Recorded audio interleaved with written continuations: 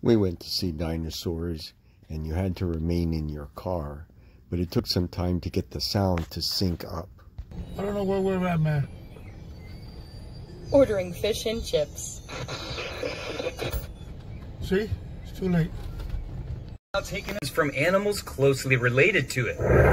The only fossils we have of this animal are its shoulders, arms, and hands. It is believed to be an herbivore, but we are still looking for more. Welcome to the late Cretaceous. The Spinosaurus we just saw spent a lot of time in and around water, and that's where we're going. Welcome to the Western Interior Seaway. That's a shallow sea that stretched from the Gulf of Mexico to the Arctic Ocean. Described this dinosaur in 2014. So there are still a lot of unanswered Well, we questions can get the about it. or But I can tell you this. Lived in what is now eastern Russia. It's in a special group of duck-billed dinosaurs called lambeosaurs, which are famous for the elaborate Sound. Um, the new script here just says make horn sounds. No, guys, I'm not gonna do that.